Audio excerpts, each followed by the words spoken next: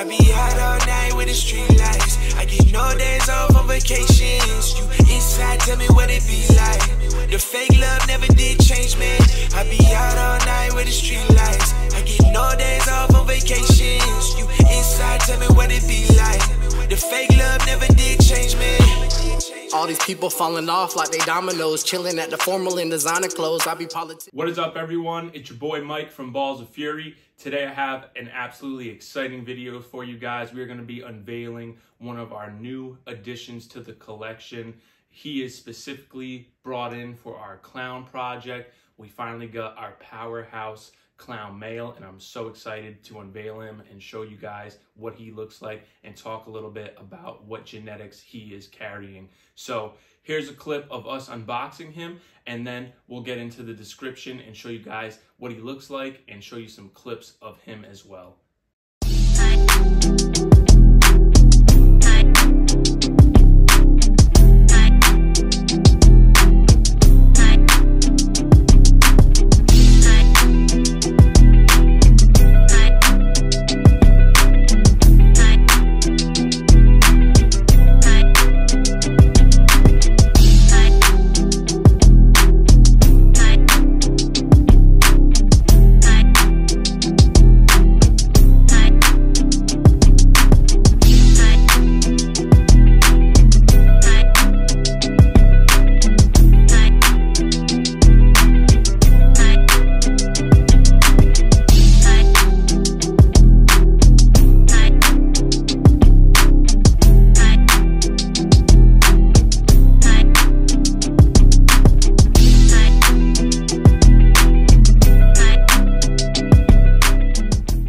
here he is, you guys. This is our new clown male, Drake. He is a fire spot nose yellow belly clown. So he is expressing three inc incomplete dominant genes and one recessive trait. Fire, spot nose, and yellow belly are all incomplete dominant traits, whereas the clown is a recessive gene, and he's just amazingly stunning. Shout out to JP Reptiles Canada. He hooked us up with this amazing male and he's going to be such a key to the future of our clown projects you guys. He just looks incredible. He's got an amazing head stamp. Look at those beautiful blue eyes. Just absolutely incredible. Absolutely am in love with this snake. He is a powerhouse and he has a lot of amazing genes that we want to incorporate into our clown combinations down the road.